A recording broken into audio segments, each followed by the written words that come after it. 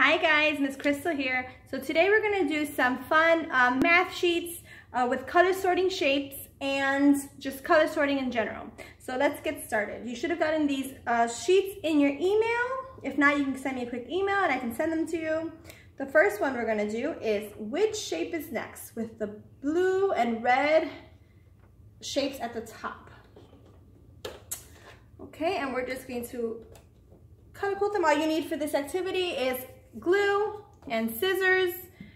You could have um, helped them cut if you want. If you want to make it a little faster and just have them do the actual activity, you can just cut for them. So first we have a red triangle, blue circle. Red triangle, blue circle. What do you think comes next? Yes, you're right, a red triangle. So we take our red triangle and we stick it right on there. Good job. Next, we have a green square, a blue triangle. A green square, a blue triangle. What do you think comes next? A green square.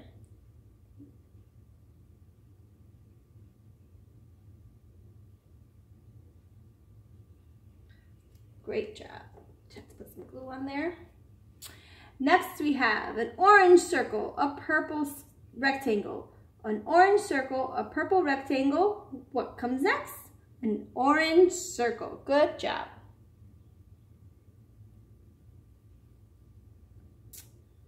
Great job, guys. We did it. We completed the whole page. Awesome job. Our next one has a purple triangle and an orange circle at the top. Again, same with the cutting. Get ready for the activity. So this one we have a purple triangle, orange circle. Purple triangle, orange circle. What do you think comes next? You're right, a purple triangle. Let's get that. Stick it on there. Great job. Next we have a red square, a yellow rectangle. Red square, yellow rectangle. What comes next? A red square. Great job. And last we have a yellow rectangle, a purple triangle, a yellow rectangle, a purple triangle. So what comes next? Great job, a yellow rectangle. We did it. We completed the whole sheet. Good job, guys. So our last sheet is called Sort the Sea Stars and it has a picture of a purple pail and a red pail to go to the beach. I love going to the beach and playing in the sand with the sand buckets. So you just cut out the sea stars at the bottom and we're just going to color code them. Put them in the right buckets. So here I have a red starfish. So does this go, go in my red sand bucket or my purple sand bucket? Good job, my red sand bucket. Next, we have a purple starfish.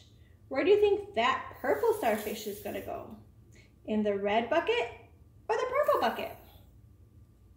Great job, the purple bucket. Now we have another purple starfish. And you're right, it's going in the purple bucket.